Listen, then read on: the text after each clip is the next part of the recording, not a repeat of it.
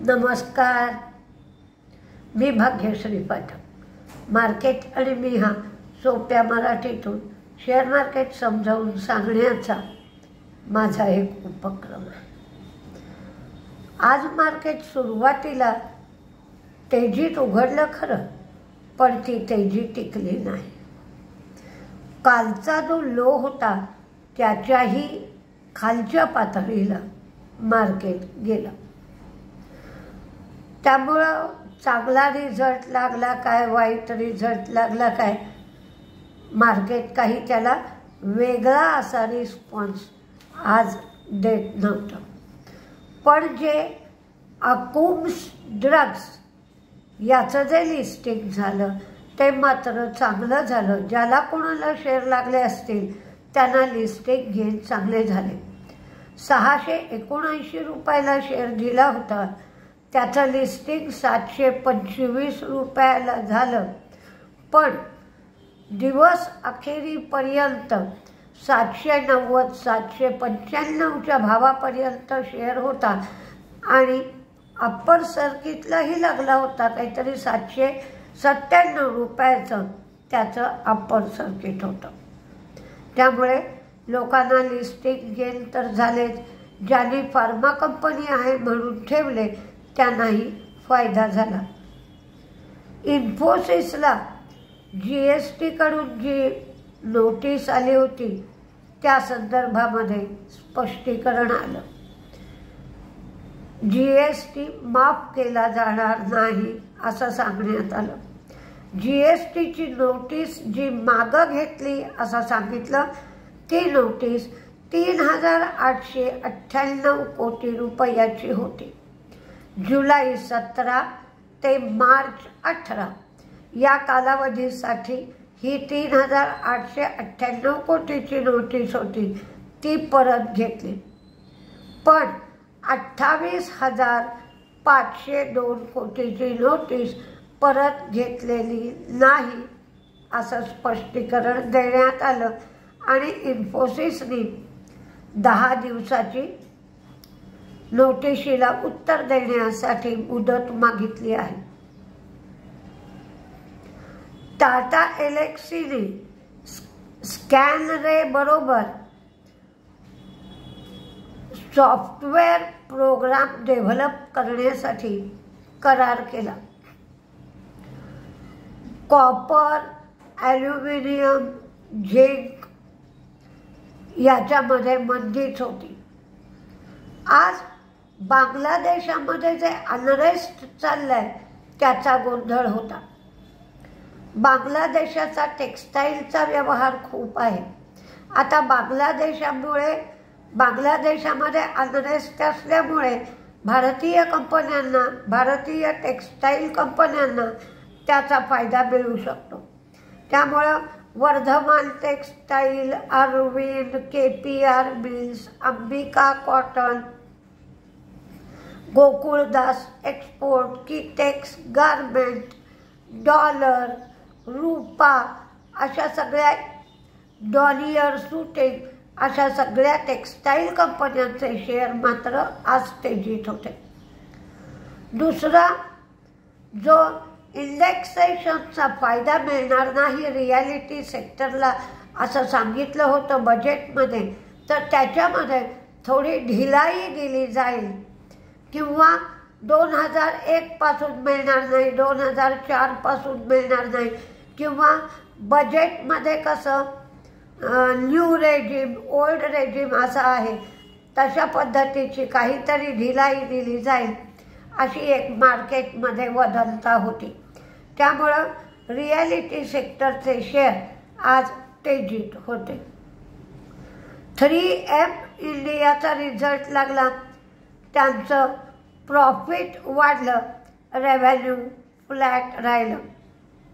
Nagarjuna कन्स्ट्रक्शनचा result लागला त्यांचं profit आणि रेव्हेन्यू वाढलं मार्जिन कमी झालं. आपण मगाशी बांगलादेशामधल्या अनरेस्टचा फायदा कोणाला होईल हे पाहिलं. तर तोटा कोणाला होईल? तर डाबर इमामी नेस्ले गोदरेज कन्झ्युमर मॅरिकोचा जवळजवळ इंटरनॅशनल आय जी येते. त्याच्यामध्ये बांगलादेशाला एक्सपोर्ट केल्यामुळे आय चाळीस टक्क्यापर्यंत येते. तर मॅरिकोवरही हे डाबर इमामी नेस्ले गोदरेज कन्झ्युमर मॅरिको या सगळ्या कंपन्यांवर वाईट परिणाम होईल. त्याचबरोबर Jubilant food V I P industries यांच्यावर सुद्धा वाईट परिणाम होईल. सिम्फनी. सिम्फनी रिझल्टही सिम्फनीचा चांगला लागला. प्रॉफिट रेव्हेन्यू मार्जिन सगळं वाढलं. सिम्फनी बायबॅक करणार आहे. दोन हजार पाचशे रुपये. बायबॅक प्राईस आहे. टेंडर रूटनी बायबॅक करणार आहे. दोन पॉईंट पंच्याऐंशी लाख शेअर्स बायबॅक करेल. आणि एकाहत्तर पॉईंट चाळीस कोटी एवढे बायबॅकसाठी खर्च करेल. ग्रॅफाईट ग्रॅफाईट ही तोट्यातून फायद्यात आली. त्यांना तेवीस पॉईंट सहा कोटी एवढा फायदा मिळाला. रेव्हेन्यू कमी झाला मार्जिन वाढलं.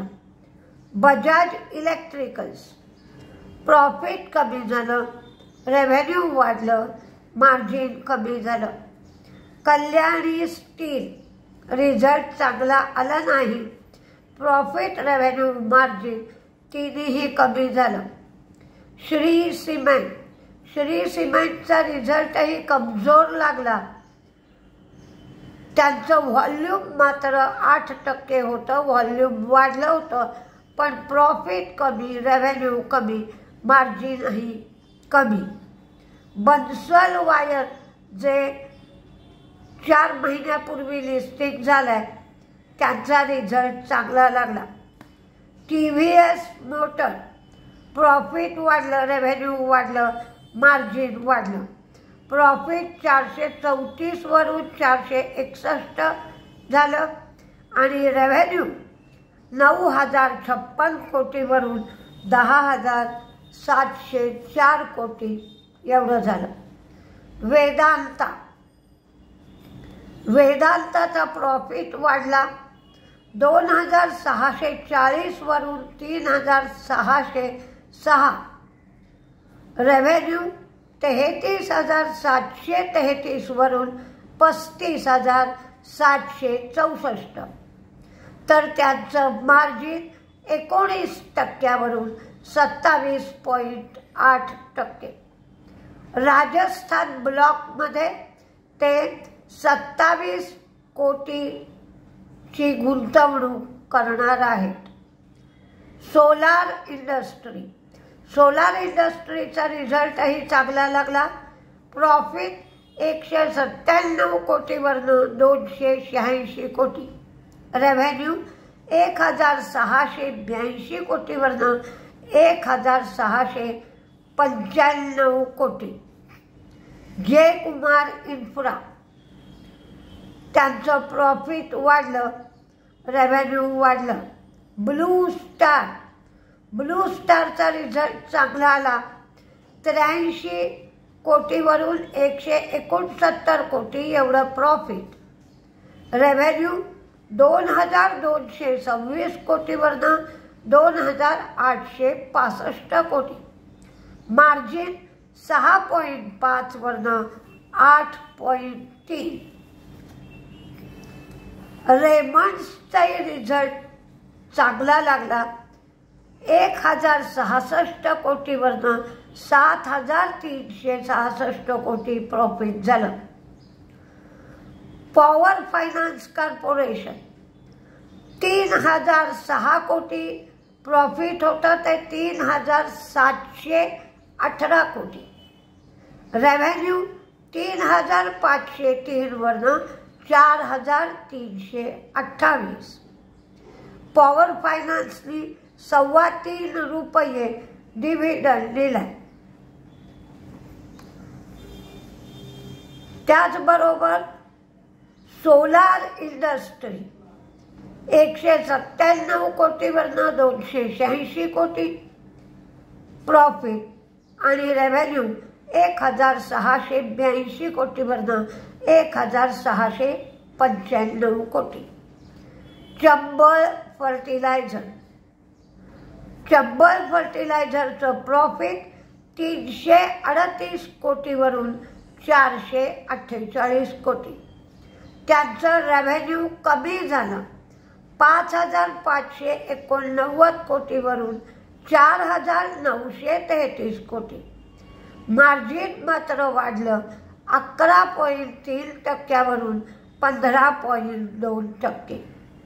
इंडिगो पेंट इंडिगो पेंटचा प्रॉफिट आणि मार्जिन कमी झालं रेव्हेन्यू वाढलं. टाटा पॉवरचा रिझल्ट मार्केट संपल्यानंतर आलाय. टाटा पॉवरचा फायदा नऊशे सत्तर कोटी. त्यांचं रेव्हेन्यू सतरा हजार दोनशे त्र्याण्णव कोटी आणि मार्जिन वीस पॉईंट सात टक्के एवढं झालं आहे पण आज मार्केट पुन्हा पडलं आहे सा थोडंसं सुरुवातीला सावरलं असं वाटलं पण मार्केट सावरलेलं नाही. उलट बंगालमध्ये बांगलादेशमध्ये ज्या जो गोंधळ चालू झाला आहे त्याच्या परिणामालाही मार्केट आज सामोरं गेलं. आता आर बी आय रेटच्या संबंधात काय करताय हे पाहावं लागेल. आजपासून आर बी आयची मीटिंग चालू झाली. आहे तर या सगळ्या पार्श्वभूमीवर उद्या मार्केट कसं रिॲक्ट करत आहे ते आपण सकाळी पाहूया. नमस्ते.